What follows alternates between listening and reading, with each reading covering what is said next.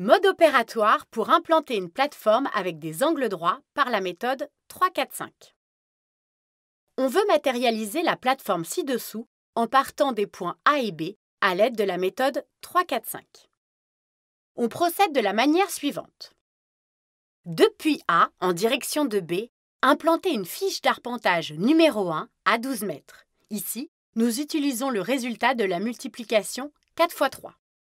Depuis A, tracez un arc de cercle de rayon égal à 9 mètres, soit 3 x 3.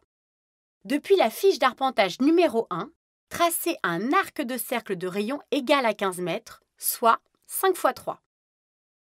À l'intersection des deux arcs de cercle, enfoncez la fiche d'arpentage numéro 2 verticalement. Depuis A, en direction de la fiche d'arpentage numéro 2, mesurez 6 mètres 30 et matérialisez le point C à l'aide d'un piquet. Pour implanter le point D, reproduire la même série d'opérations à partir du point B. Il est impératif de contrôler chaque implantation de point effectuée. Commençons par mesurer la distance CD. Celle-ci doit être égale à la distance théorique, sinon il faut reprendre l'implantation. Nous allons de nouveau nous appuyer sur le théorème de Pythagore et les propriétés du rectangle, à savoir les diagonales d'un rectangle sont égales et se coupent en leur milieu. Calculons la longueur théorique des diagonales BC et AD.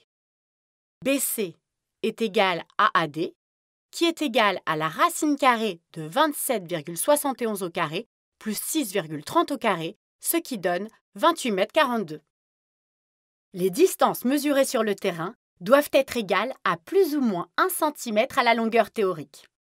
Si ce n'est pas le cas, il faut recommencer l'implantation.